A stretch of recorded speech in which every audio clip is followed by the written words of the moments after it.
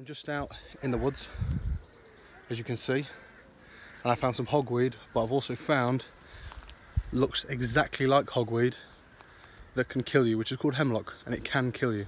All right. Now straight away, you can see that there are some distinctions between each other, but the only way you can tell that is, is the easiest way to tell is the stems. So this one here is hogweed, this is hemlock, and this can kill you. Okay, so as you can see here, uh, I think the light can see, you can see little hairs. Now this is a very furry stem, it's a very furry plant. Alright, you can see there, definitely. It's all the fur, whereas on the hemlock, it's smooth. Alright, and you can also see what looks a bit of mould. It's like an orangey, brownish sort of it looks like mould, but it's not. There you go. Just wipe off the crap.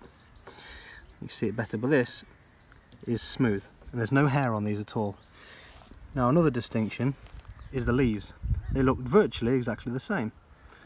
However, that is your hogweed. This is your hemlock, which can kill you. and as you can see, they look on exactly the same. So that's one way of looking at it. Now another one is, is to cut it open. So if we get the uh, knife, now sadly I've got one hand, so um, how am I going to do this? There we go. And with this one, nice knife, thank you very much. It's a Viking seax.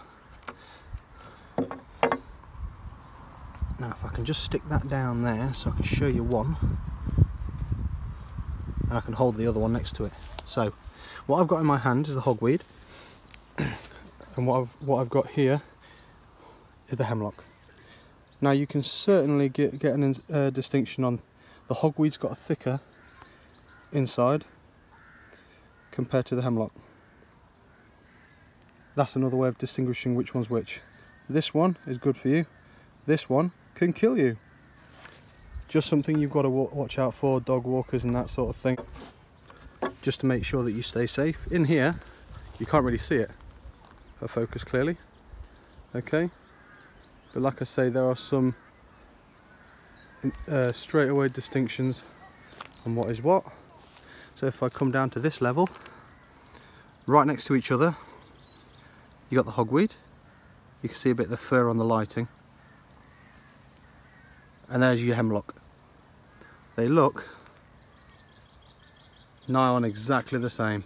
Hogweed hemlock just stay safe out there because that one can kill you